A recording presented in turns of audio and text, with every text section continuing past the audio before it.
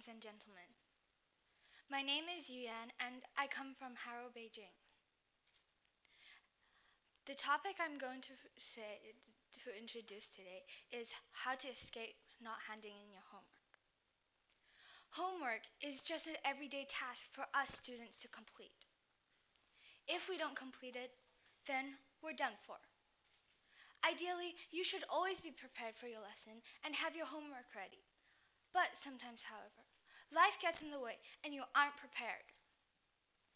Everyone here who knows me understands that I'm a very organized person who never ever misses homework. Teachers and students listening to the speech will discover the secrets passed from our ancestors. Note that this speech is copyrighted material. Homework means half of our time and energy is wasted on random knowledge. There are many, there are many methods on developing a very good excuse, ranging from honest to deceptive. The most used, the most commonly used deceptive reason is my dog ate my homework. Many people say it doesn't work, but I ask them, how did you say it?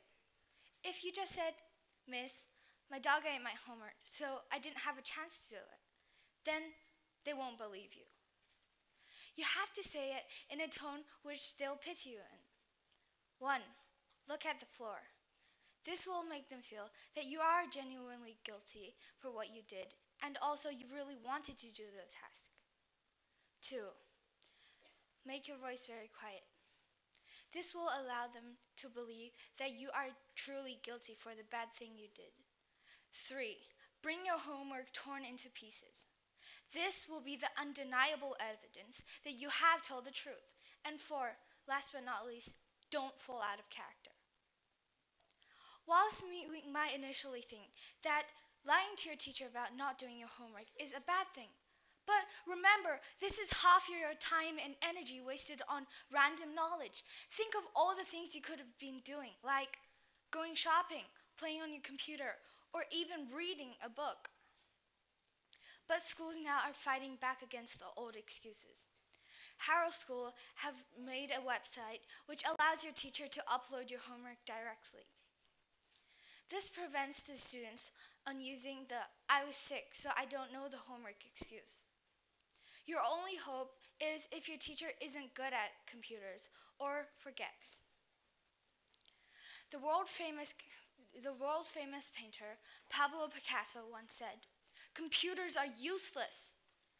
This allows the, uh, this creates a positive impact towards students who are having trouble with homework because it allows us to say with honesty, my laptop didn't save my work. Linking to this point, I believe that everyone will agree that computers not only damage our eyes, but you could also be a victim of cyberbullying or hacked. As you can see, lying about not doing your homework isn't easy. And to really persuade your teachers, you must be a professional. And for the time being, why don't we just organize our homework and do it properly? There are many other believable excuses, such as someone took it by mistake, it fell out of my bag when I was coming to school, or even someone stole it because they thought it was so valuable. But for homework, just think like Nike and just do it.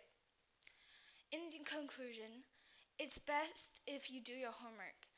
Even though your time and energy is wasted, it's better because if in detention, we just sit in a hole with teachers glaring at you.